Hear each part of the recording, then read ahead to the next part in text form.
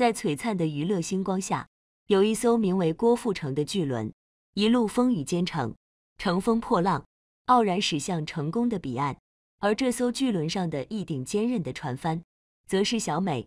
她默默地为巨轮提供着无声的支持，成为郭富城成功航行的不可或缺的一部分。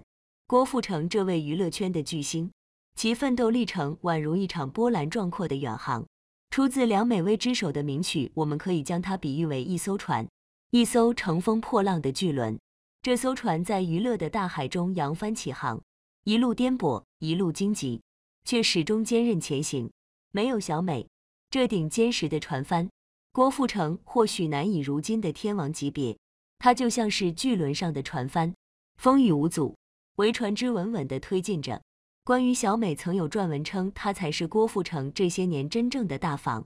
这个说法或许有些戏谑，但也不无道理。小美这位默默无闻的女子，却在郭富城的事业中扮演了不可替代的角色。她的存在。不仅是郭富城成功背后的一抹风景，更是他事业航程中的得力助手。不可否认，娱乐圈的每一段婚姻都承载着无数的传言和猜测。郭富城娶方圆的原因之一，据说是因为她年轻貌美、乖巧懂事，可以作为生育工具。这样的说法让人不禁思考：婚姻在娱乐圈中是否真的能摆脱这种功利的束缚？而在这场风雨中，小美的角色又是如何被定位的呢？在探寻郭富城的婚姻中的一些细节时，我们也难免看到他身为铁公鸡的一面。方圆在财务上却被经纪人梁美薇的权力笼罩，他不得不每月向小美领取生活费，像是一位被赋予皇室荣耀却无法自由支配的王后。这种经济和权力的限制，让方圆在生活中显得有些无奈。更让人啧舌的是。小美不仅仅掌控着郭富城的财政大权，更以一种令人费解的方式介入到方圆和两个女儿的生活中。这两个天真无邪的孩子对小美比方圆还亲近，这让人不禁疑惑：难道在这个家庭中，方圆真的只是一个配角，而小美才是主角？在娱乐圈这个浮华的舞台上，每一个成功的背后都离不开一个默默付出的背影。而小美正是这背影中的佼佼者，她的原名是梁美薇，是郭富城的经纪人，同时也是一位才女。她以为歌手罗文写的歌曲《几许风雨》等成就展现了其才华，以及他在娱乐圈中的地位。他的存在不仅是郭富城事业中的得力助手，更是一个独立有思想的个体。舞台的光芒背后，娱乐圈的故事往往也隐藏着许多不为人知的细节。小美的父亲逝世，郭富城亲自参与葬礼，并为老人扶灵。这一幕凸显了小美与郭富城家庭的紧密关系。这样的画面让人不禁思考：娱乐圈中的爱情、婚姻，究竟是真实的情感交流，还是一场需要维系形象的表演？在娱乐圈这个浑浊的江湖中，真实和虚假的界限常常模糊不清。郭富城和小美的故事，虽然在表面上看似美好，但是否也隐藏着更多无法言说的曲折和变数呢？是爱情的力量让这艘巨轮在风雨中坚韧前行，还是背后的利益交换才是真正的驱动力？每一个人都有属于自己的航程，而娱乐圈更是一片波涛汹涌的大海。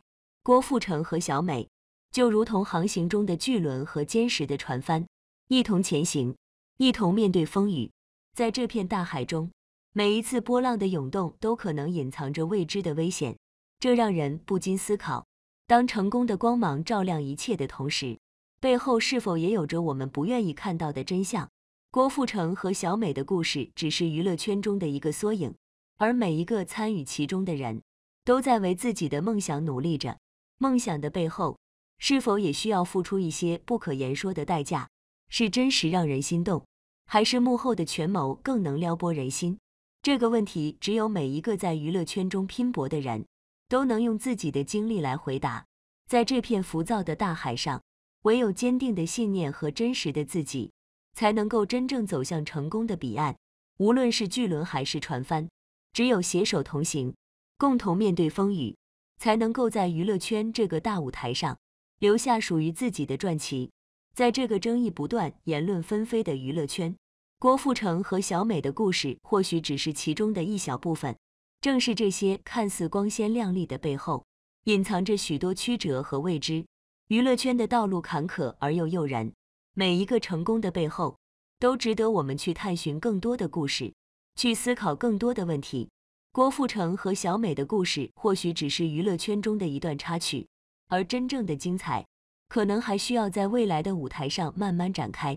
这是一场没有终点的演出，每个演员都在舞台上扮演着自己的角色，而观众则在这场视觉盛宴中，既能欣赏到灿烂的表演，也能看到背后那些不为人知的心路历程。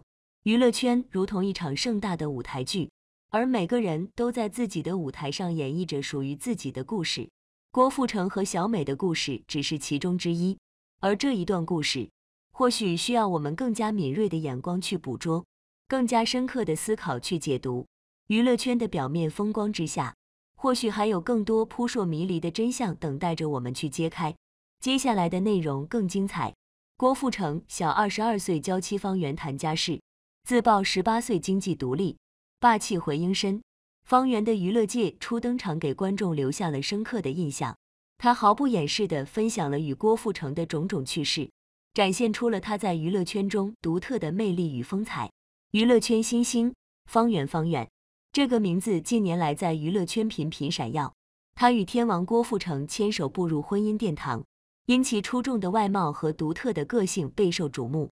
一月二十一日晚，方圆首次登上综艺舞台，他以开朗的笑容和真诚的态度，向观众展示了他与郭富城之间的甜蜜和幽默，让人眼前一亮。二十二岁的爱情，方圆与郭富城的婚姻一直备受瞩目，尤其是因为两人之间的年龄差距。然而，在他的口中，这似乎并不是那么重要。在综艺节目中，他坦言自己十八岁就开始经济独立，而郭富城也是靠自己的努力打拼出一番事业。这种共同的奋斗精神让他们彼此理解与尊重，年龄似乎成了一种微不足道的存在。